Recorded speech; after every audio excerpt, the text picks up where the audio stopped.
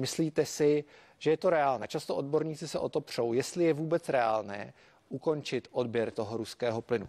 Podle vás je teď možné vypnout ten kohoutek a skončit? Je to nereálné.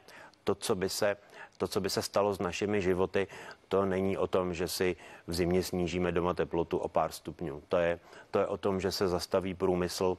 Pravděpodobně by se nejednalo jenom o zastavení plynu, ale i o zastavení ropy, o tom, že nám, že nám dojde nafta, která se z té ropy vyrábí, že nebudeme schopni eh, zavést zboží do, do obchodů, že nebudeme eh, schopni eh, zorat pole, nebudeme schopni sklidit úrodu. Prostě, prostě to, co by, to, co by následovalo zhroucení průmyslu, zhroucení ekonomiky, velké, velké, myslím si, politické nepokoje. Já, já si to vůbec neumím představit. Myslím, že by to byla tak dramatická změna, proti které byl listopad 89 jenom, jenom drobným představením.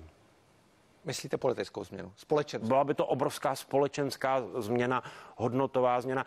Strašná spousta lidí by nepřežilo. Já si neumím představit, v, v, že, by, že by staří bezmocní lidé, že by, že by malé děti, prostě, prostě naše životní úroveň, naše kvalita zdravotnictví by, to všechno by, by se strašně rychle e, e, začalo sypat. To, ten, ten důsledek by byl strašlivý. A teď mluvíte o České republice nebo mluvíte o teď, Evropě? V... Teď, ne, teď teď mluvím o vnitrozemských státech, státy, které, které mají moře, jsou schopny poměrně rychle e, postavit ty terminály, anebo tam přivléci lodě, protože některé lodě jsou upraveny tak, že mohou, mohou krátkodobě sloužit jako terminál a, a ta nejhorší situace by byla ve vnitrozemských státech, což jsou Česko, Slovensko, Maďarsko a Rakousko. To, to jsou země, které by, které by byly zasaženy strašlivě.